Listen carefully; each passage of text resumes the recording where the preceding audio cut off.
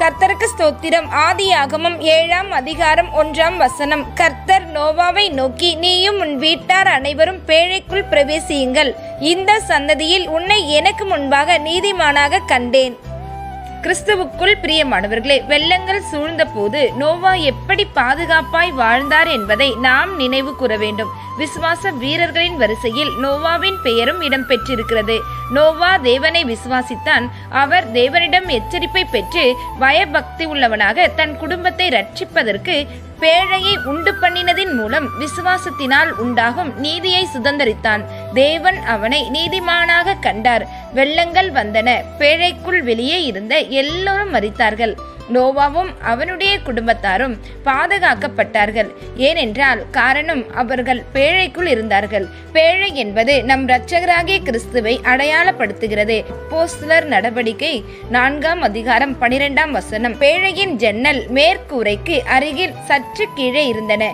அங்கு நாம் கற்றுக்கொள்ள வேண்டிய சத்தியம் என்னவென்றால் உங்களை சுற்றி இந்த உலகத்தில் காணப்படுகிற பயங்கர தீமைகளின் மீது நீங்கள் கவனம் செலுத்துவதை தேவன் விரும்பவில்லை. நீங்கள் எப்பொழுதும் மேலே நோக்கி அவரையே பார்க்க வேண்டும் என்று அவர் விரும்புகிறார். தேவ பிள்ளைகளே வெள்ளம் ஆக்ரோஷமாக வந்து பேழையின் மீது மோதி இருக்கும்போது அங்கே நோவாவின் நிலை என்னவாக இருந்திருக்கும்? அப்பொழுது நோவா பேழைக்குள் தான் விழுந்திருப்பாரே தவிர அவர் ஒருபோதும் வெளியே தூக்கி எறியப்படவில்லை என்பதுதான் உண்மை. ஒருவேளை நீங்கள் சோதிக்கப்படும் போது விழலாம். ஆனால் நீங்கள் கிறிஸ்துவுக்குள் தான் வெளியே விழவில்லை. காரணம் நாம் பேழையாகிய கிறிஸ்துவுக்குள் தான் இருக்கிறோம். அவருடைய பாதுகாப்பின் ஆசீர்வாதத்தை நாம் இழந்து விடவில்லை. நிச்சயமாக இல்லை. ஆண்டவராகிய நீதிபரருக்குள் உள்ளேயும் வெளியேயும் ஒரு விசுவாசி மாறி மாறி விழுவதில்லை.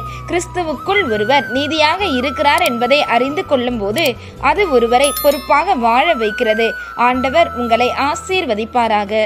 ஜெபம். எங்கள் அன்பின் பரலோக பிதாவே உமக்கு ஸ்தோத்திரம். ஆண்டவரே நோவாவையும் அவர் குடும்பத்தையும் பேழைக்குள் வைத்து பாதுகாத்திரே. இன்றைக்கு எங்களையும் எங்கள் குடும்பத்தையும் நீர் உமது பாதுகாப்பின் பேழைக்குள் வைத்து ரட்சியும். சோதனையின் வெள்ளங்கள் எங்களை சேதப்படுத்தாதபடி கிருவை தாரும் என்ன வந்தாலும் உம்மையே நோக்கி பார்க்கும்படி வழிநடத்தி ஆசீர்வதியும். தேவன் நாமம் மகிமைப்படுவதாக இயேசுவின் மூலம் ஜெபிக்கிறோம் எங்கள் நல்ல பிதாவே. ஆமேன். God bless you.